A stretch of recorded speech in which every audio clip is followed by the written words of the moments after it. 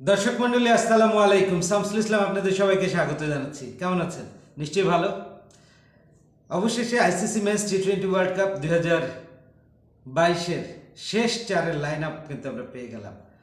Super টুয়েলভের group স্টেজে সবগুলো ম্যাচ শেষ হয়ে গেল। এখন কিন্তু আমাদের হাতে আর মাত্র তিনটা ম্যাচ নক আউট স্টেজে তিনটা ম্যাচ আই মিন দুটো semifinal and the final so নয়, দশ এবং তেরোই নভেম্বর যথাক্রমে Sydney cricket ground Adelaide oval followed by MCG the Melbourne so এই তিনটা মাঠে এই তিনটে ম্যাচ হবে নকআউট স্টেজে প্রথম সেমিফাইনালে সিডনি ক্রিকেট গ্রাউন্ডে নিউজিল্যান্ড খেলবে কাদের বিরুদ্ধে? পাকিস্তানের বিরুদ্ধে। যারা বাংলাদেশকে হারিয়ে তাদের শেষ চার কনফার্ম করেছে। এবং একই সাথে দশ তারিখ মাইটি ইন্ডিয়া তারা খেলবে কাদের সাথে?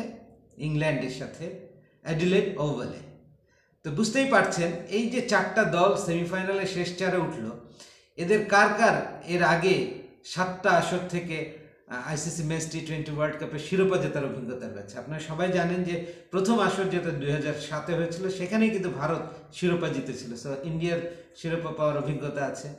ইংল্যান্ড দুই হাজার দশের আসরটা জিতেছিল অস্ট্রেলিয়াকে হারিয়ে এবং একই সাথে অপর যে সেমিফাইনালিস্ট রয়েছেন আই মিন নিউজিল্যান্ডের প্রতিপক্ষ পাকিস্তান, তারা দুই হাজার নয় সালে এই টি টোয়েন্টি ওয়ার্ল্ড কাপের শিরোপা পেয়েছে। অর্থাৎ দুই হাজার সাত, নয়, দশ টানা তিনটা আসরে এই চারটা দলের মধ্যে তিনটা দল ইন্ডিয়া, পাকিস্তান অ্যান্ড ইংল্যান্ড তারা ওয়ার্ল্ড কাপ শিরোপা পেয়েছে।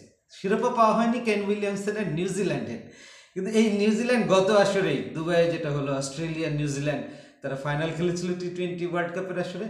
এইবার আবারও তারা সেমিফাইনাল খেলছে। নিউজিল্যান্ড কিন্তু নীরবে কি বলব আন্ডার রেটেড একটা দল।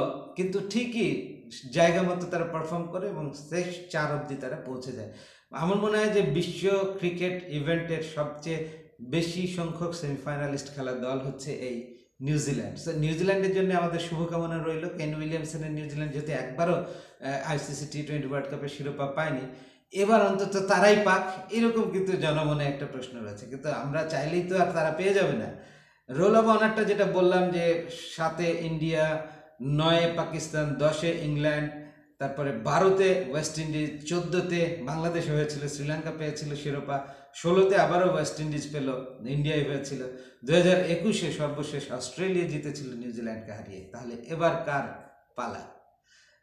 শুনতে এবং প্রেডিকশন উপলব্ধি করতে আমার সঙ্গেই থাকুন। শামসুল ইসলাম ইউটিউব চ্যানেলটি সাবস্ক্রাইব করুন এবং Shamsul Islam sports commentator Facebook পেজটি ফলো করে আমার সঙ্গেই থাকুন।